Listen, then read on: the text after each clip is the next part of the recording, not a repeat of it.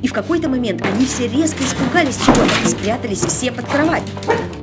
Но я точно знаю, что никого в квартире не было. Хай, ты на канале Magic Family, меня зовут Аня, и со мной мои собачки, а еще у меня тут очень много других питомцев.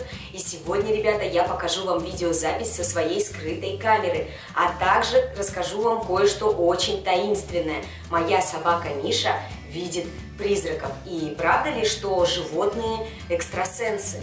Так что нажимайте красную кнопочку подписаться внизу, не забывайте жать колокольчик, чтобы самыми первыми узнавать о новых роликах на нашем канале. Кстати, ребята, большинство из вас правильно отгадали загадку из прошлого видео. И новый питомец это действительно шотландский пони по имени Мастер. И если вы хотите про него отдельное видео, ставьте лайк! Итак, многие хозяева собак и кошек замечали странное поведение своих домашних животных. У каждого животного может быть разная реакция при встрече с призраком. У одних шерсть встает дыбом, и они лают, другие выбегают и отказываются возвращаться, третьи начинают выть или рычать. А вы, ребята, замечали когда-нибудь за своим питомцем странное поведение? Напишите в комментариях. Но я до недавнего момента никогда сама в жизни с этим не сталкивалась. Если вчера, ребята, вы на моем канале Animagic посмотрели ролик про призрака Машу, которая появилась в моей моей жизни, то я там сказала, что первой это почувствовала моя собака Миша.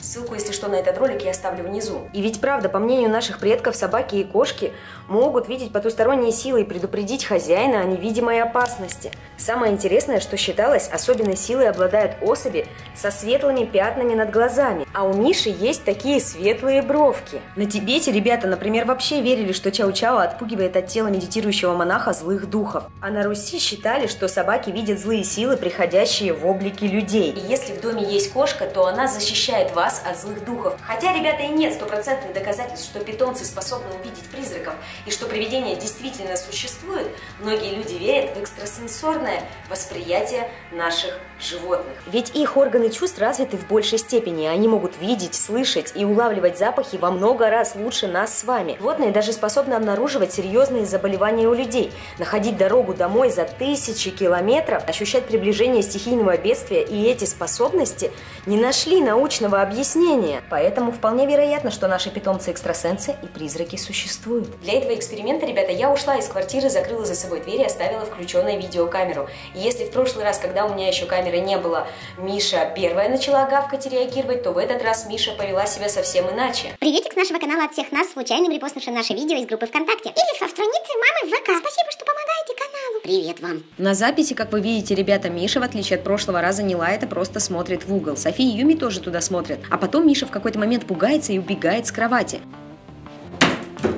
На второй камере мы видим, что дальше несколько часов вообще ничего не происходит. Собаки периодически смотрят в угол и просто отдыхают. Но в какой-то момент София занервничала, и Юми тоже стала пристально смотреть в угол. А Миша, наоборот, отвернулась, как будто сначала боялась смотреть туда. Юми начала гавкать и очень странно себя вести. Такое поведение совсем не свойственно Юме. Она как будто чего-то боялась и беспокоилась. Она подходила к углу и уходила от него, боялась, лаяла, рычала. Софи тоже почему-то спряталась под кровать, а Миша и Эйвен сидели и молча наблюдали.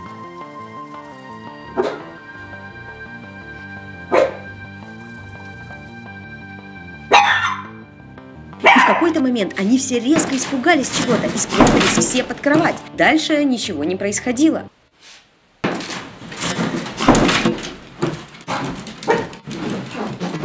Я точно знаю, что никого в квартире не было, в том числе меня, и ничего не могло происходить. Как развивается наша история с призраком по имени Маша, если это вообще она, я буду рассказывать вам, ребята, держать вас в курсе в нашей группе ВКонтакте и в моем Инстаграме. Так что подписывайтесь, и скоро увидимся в новых роликах. Пока!